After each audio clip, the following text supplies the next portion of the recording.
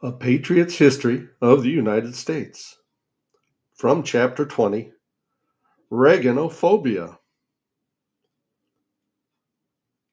Liberal textbook writers have endeavored to distort Reagan's record more than they have any other subject except the Great Depression. They began by attempting to minimize the extent of Reagan's massive and shocking victory by pointing to low turnout which had in fact been exacerbated by massive drives by liberals to register voters who in fact had no intention of ever voting. Another strategy to discredit Reagan was to attack his acting career, pointing to the absence of many critically acclaimed roles. This allowed them to label him a B actor. Yet this argument contradicted another line of attack on the Gipper claiming that he had no genuine political instincts or serious policy ideas, and that he was merely a master of the camera. Both the Democrats and the media continually underestimated Reagan, mistakenly thinking that his acting background and camera presence had supplied his margin of victory. Neither group took seriously his ideas or the fact that those ideas were consistent and appealed to a large majority of Americans refusing to engage in combative dialogue with his media enemies. Reagan repeatedly used them to his advantage and kept his eyes on the prize. Reagan was, in fact, widely read and perceptive too. In 1981, he latched on to a path breaking book by George Gilder, Wealth and Poverty, which, to the lament of mainstream academics, turned the economic world upside down with its supply side doctrine and stunning insights. Reagan's diary, published in 2007 and a collection of his handwritten radio addresses released six years earlier, testified to a sharp mind that addressed a broad range of issues and to a man in charge of his advisors and staff, giving them policies, not vice versa. Symbolically, although Carter had negotiated an end to the hostage crisis, the Ayatollah did not release the prisoners until January 20, 1981, the day of Reagan's inauguration. It was a characteristic of Reagan in his diary to note how sorry he had felt for the departing Carter, who had not had the fortune of seeing the hostages released.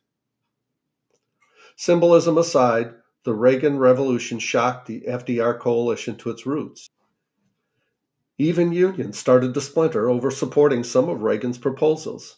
And although publicly the Democrats downplayed the extent of the damage, privately, Democratic Party strategist Al From was so shaken that he initiated a study to determine if Reagan was a fluke or if a broad transformation of the electorate had started to occur. He did not like the answers.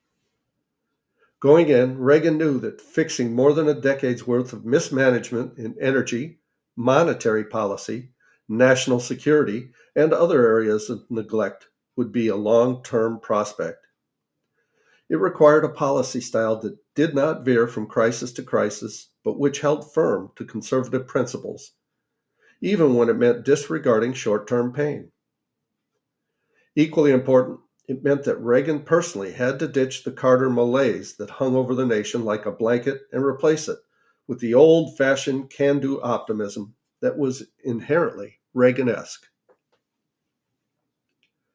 The Gipper accomplished this by refusing to engage in beltway battles with reporters or even Democrats on a personal basis.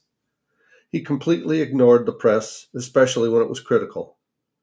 Laughing and joking with Democrats, he kept their ideology, which he strenuously opposed, separate from the people themselves.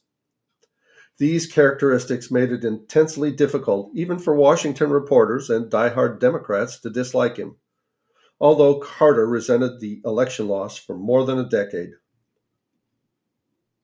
Reagan frustrated reporters and intellectuals with a maddening simplicity, asking why we needed the Federal Reserve at all and why, if the ozone layer was being destroyed, we couldn't replace it.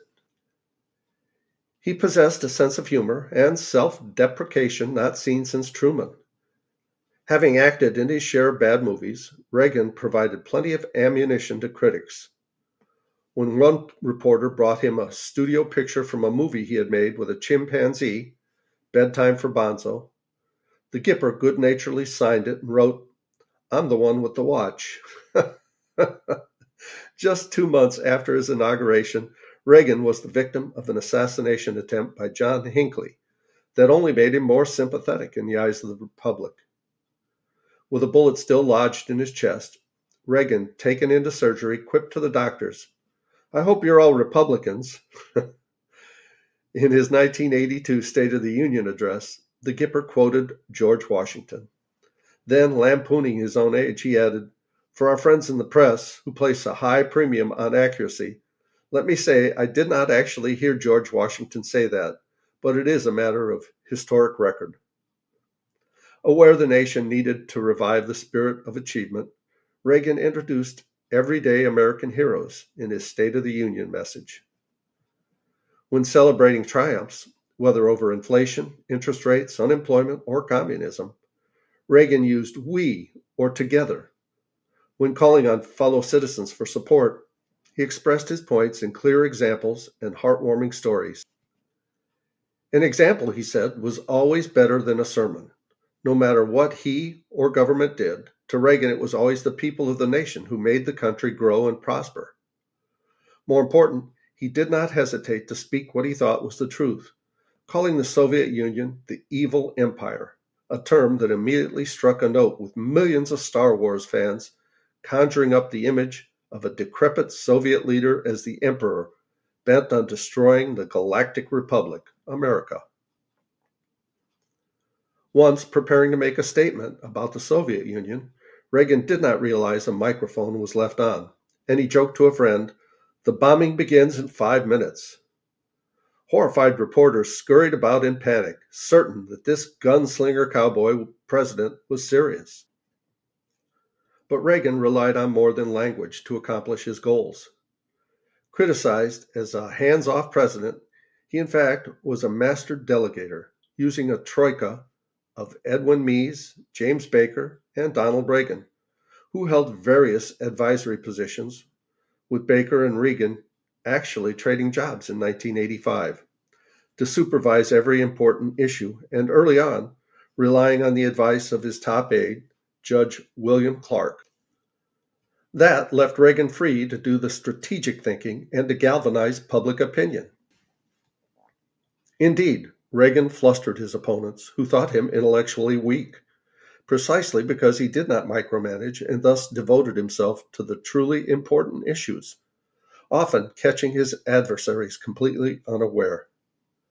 His grasp of the details of government, clear in his autobiography, An American Life, shows that in one on one meetings over details of tax cuts, defense, and other issues, Reagan had mastered the important specifics.